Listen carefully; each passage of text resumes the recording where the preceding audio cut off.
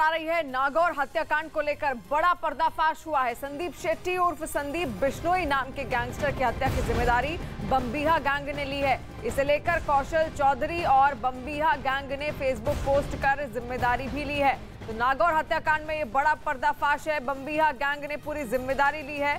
आपको बता दें, बड़ा पर्दाफाश यहाँ पर हुआ है। सोशल मीडिया के ज़रिए पर्दाफाश हुआ है, जहाँ पर बम्बीहा गैंग ने इस पूरे हत्याकांड की ज़िम्मेदारी ली है और हत्या के बाद एक फेसबुक पोस्ट भी बकायदा उनकी ओर से किया गया। बम्बीहा गैंग की ओर से किया गया है।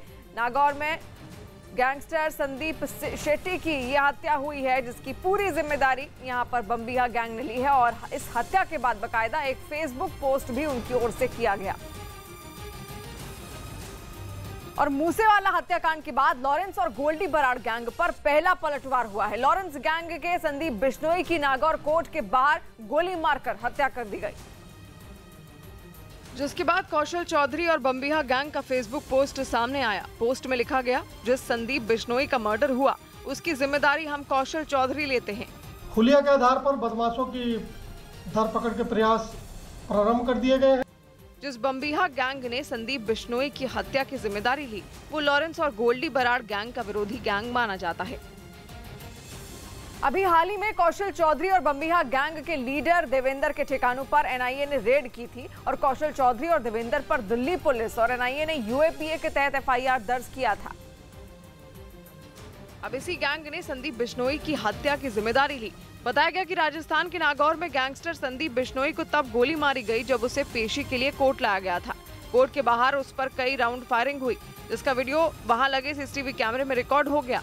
सामने आए वीडियो में गैंगस्टर संदीप शेट्टी कुछ लोगों के साथ कोर्ट के बाहर सड़क पर पैदल चलता दिखाई दिया, लेकिन तभी पीछे से दौड़ कर आए दो बदमाशों ने उस पर ताबड़तोड़ फायरिंग शुरू कर दी, जिसके बाद वो वहीं ज़मीन पर गिर गया।